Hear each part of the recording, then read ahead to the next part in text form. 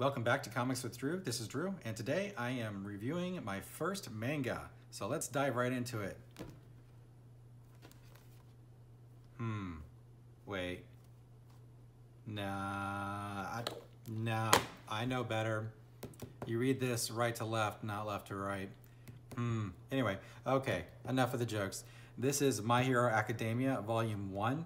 It is the very first manga that I have ever read, and I freaking love this book. I want to give a shout out to Perch uh, of Comics by Perch fame uh, for basically introducing me or challenging anybody in general to uh, take a look at manga if they had not read it and to see what Western comics might be able to learn from it, and I am hooked. This is probably going to be an expensive hobby. Hmm. But I digress. I, uh, if you don't know, uh, I actually am an, a creator. I'm a comic creator. I have done webcomic creation for many, many years, but currently I'm working on a graphic novel or a comic book, like a Western style comic book, and I am looking into everything that I can learn to uh, hone my skill to make my project the best project I can make it. And to that extent and to that end, I am happy to read manga. So if you're not familiar with My Hero Academia, it is one of the best-selling manga of all time. And so again, as this is my first one, typically, uh, I, you know, I looked into manga in general to see exactly how it's produced, uh, you know, how it's made, how it gets popular or not popular. Basically, manga that gets popular gets a start in weekly publications or even, you know, bi-monthly publications. In this particular case, it's uh, Shonen Jump, weekly Shonen Jump. And so they get in there, and if they're popular, they're, the readers vote on them, and uh, they continue getting published until the creator decides that he's done making that manga for whatever. My Hero Academia, uh, for those unfamiliar, is a superhero manga, and it's kind of like, it's a little bit like X-Men, only without the angst and all the uh, uh social commentary. Uh, it's pretty much a, a, world where our hero, uh, Midoriya here, this is him, um, he idolizes uh, a particular professional hero uh, named All Might. This is All Might. And uh, he wants to grow up to be like All Might and be a professional superhero. Uh, and in this world, about 80% of the population have manifest what they call quirks. And the quirks are basically a, a kind of superpower and so there's about 20% of the population that does not have them. Unfortunately, our boy Midoriya here does not have a quirk. He's, he's one of the 20%. And so this book basically talks about, um, oh, it's got, the, I guess, the first seven chapters. Yeah, the first seven chapters. It has his origin, roaring muscles, entrance exam, starting line, smashing into academia, what I can do for now, and, um, or what, yeah, what I can do for now, and costume change and it's it's basically an origin story and an introduction to the world of My Hero Academia. So basically, Midoriya wants to become a, a superhero. He's in middle school and he wants to go to the best high school for uh, superpowered individuals. His goal is to try to study and uh, get in through academic ability rather than necessarily quirk ability. And through the course of this book, he winds up encountering All Might, uh, who then reveals to him that uh, powers aren't necessarily genetically uh, earned or, or, manifested or evolved, uh, but there's a secret, and uh, he's going to let uh, Midoriya in on that secret. And this is basically how Midoriya winds up getting into the superhero school and becomes a professional superhero. So I think that they're they're in the high 20s now on Tankobon volumes. Again, uh, a Tankobon is a paperback collection of manga that has been printed in the Weekly Shonen Jump magazine. And so this is the first volume. I've already picked up volume two and volume three, and I am eager to read those and review them. In fact, I think I might just make Monday Manga Monday. I might just do a new manga review every single Monday. And if there's one that you would like to have reviewed, go ahead and let me know in the comments. Uh, if you like and subscribe, I will do my best to put out a new review every Monday. There are hundreds and hundreds and hundreds and hundreds of these um, Tankobon collections of manga or manga I'm going to go with manga, by the way, as a pronunciation because I just like that better personally. So, a couple things I want to say. This book is written, the, the pacing on this book is phenomenal. There's no navel gazing in this book. There, there is no uh, angst-ridden soliloquies about uh, why things suck or why things are awful or in the world and what am I going to do? What are these giant philosophical questions? It's basically Midoriya wants to be a superhero and he's going to do everything he can to become a superhero. So uh, it's really inventive. Unlike X-Men, uh, in My Hero Academia, the uh, heroes aren't um, minorities, they're the majority. In X-Men, you've got them as a minority and it's used as a metaphor for, you know, uh, minorities that are oppressed and whatnot. That's kind of the opposite here. They kind of flip that on, on its ear and they celebrate these heroes. So you'll have heroes with a specific kind of quirk and basically they will do whatever they can to uh, hone that individual quirk and become professional heroes. Now, they haven't really gotten into uh, supervillains or where supervillains necessarily come from or whether supervillains are failed heroes or they're just people that decide they don't want to be a hero, they want to use their powers for, for ill. Uh, they, they have they don't really address that in this particular volume, and I'm really interested to see how they actually address that going forward. The art is phenomenal. Um, like I said, uh, if you're new to, to, to, manga, the book is read right to left. And I know for all you manga fans out there, this is kind of basic stuff.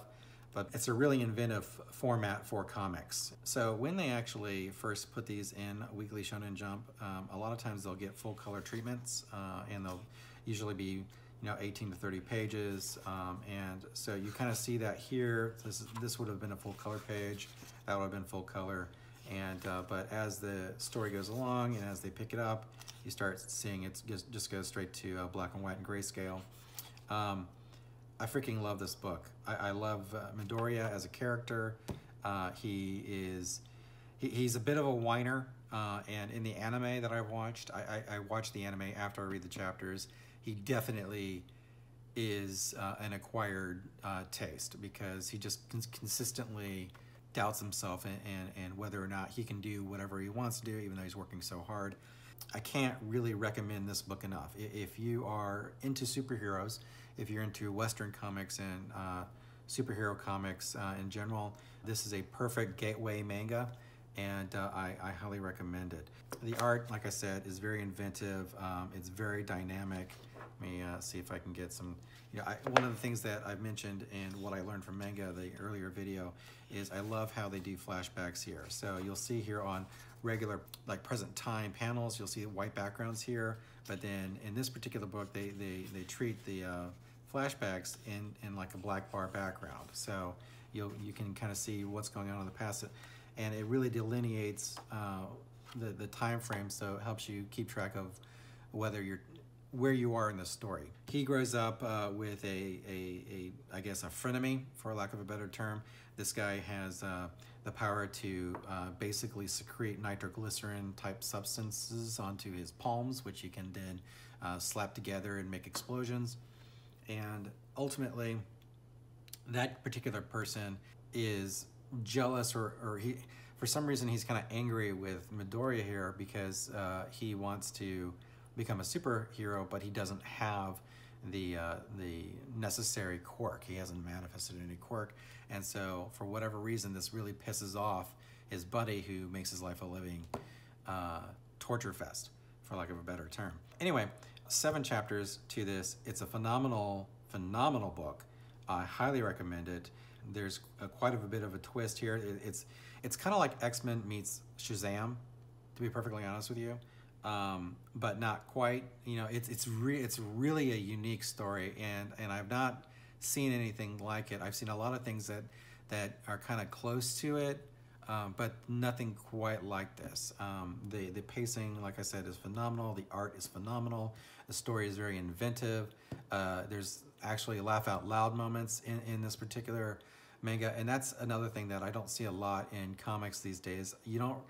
They're called comics you would think that they were humorous, and for the most part, there's not really a lot of there's not really a lot of humor that goes on in Western comics these days, uh, unless you're talking about like say Deadpool, uh, which is really the last time I actually laughed out loud at a comic book was an issue from Deadpool, uh, way back like 10 years ago or something like that. Um, but but this story, My Hero Academia, And also um, the next uh, manga that I'm going to review, One Punch Man, uh, there are laugh out loud moments. And what that says about this particular medium is that they know their target audience. Uh, manga creators aren't on social media for the most part yelling at people um, and, and, telling their fans that they're wrong or telling their fans that they're toxic or or they've got whatever other perceived weird problem that uh, these people typically seem to find to complain about fans with in Western comics. Uh, they just make their comic, they make their story, and they, they kick it out. Someone was telling me on social media, on Twitter, I believe, that, um, or maybe it wasn't Twitter, or maybe it was, uh, yeah, no, it was on Twitter. Uh, there was a, a person who was telling me that um, the workload for these books is about you know 18 to 20 pages and on special occasions you'll get 30 pages um, and and even so when you have one person with like a small staff and a small studio cranking out 18 pages a week that is an amazing amount of work. That is a huge workload. If you've not created comics, you, you don't know this. I, like I, I, I did a uh, web comic every single day for like two years straight. Um, I did a web cartoon and that was, you know, I had a full-time job while I was doing that and that was just a, a lot of stress to maintain that particular schedule to do that because I'd be coming home from work and I'd be putting together, I'd write an idea down and I'd ink it, I'd pencil it and ink it and color it and, or scan it and color it and put it up. And it was just, you know, a very, very hectic, stressful thing. These guys are cranking this stuff out. I mean, they're cranking out massively, ma massive quality here uh, in, in 18 or on a weekly basis. You don't see action like this on, in Western comics these days. You, you just don't really see this. I mean, look, I mean, we don't have any background here, all we have is our principals and onomatopoeias and speed lines and bold, bold, bold lines. And it's, it's phenomenal. It's, it's just, I, freak, I, I can't even begin to tell you how much I love this. So five stars. Um, I don't really do star ratings, but you know, maybe I'm gonna start doing star ratings now. I will give this a, a five out of five stars. Highly recommend it. It's uh, only like what, like it's 10 bucks, you know, I mean, I think I got it for less. Um, if you don't read manga, pick this up. If you like superhero comics, pick this up. Um, and if you don't like reading left or, or right to left, then I, I, don't know what to tell you. Expand your horizons. It's not like you're looking at uh, subtitles or, or uh, bad dubbing here. They have very inventive ways of using sequential art in, in manga, and uh, I, I'm a big fan. So. Um, but anyway, uh, that's pretty much all I have to say about this. Um, like I said, uh, in summary, it's a superhero manga about this kid who uh, gets a superpower and uh, he goes to a high school to learn how to be a professional superhero. That's pretty much the long and the short of it. It's a very high concept. The writing is phenomenal. The characters are well realized. The characters are extremely inventive and uh, the, the dialogue is uh, hysterical and hilarious. My Hero Academia, Volume 1, go pick it up at your local bookstore or uh, your favorite online retailer, and you will not regret it. Again, this is Comics Drew. Uh, I appreciate you uh, watching. Uh, I'm getting back into the swing of doing videos again, and I'm going to be talking about all kinds of pop culture, as well as um, manga and comic books. And so if you like what you heard, uh, go ahead and like and subscribe. And uh, I read all the comments and I pretty much like all the comments as well. And I definitely appreciate the engagement. Again, thanks for your time and I'll see you later.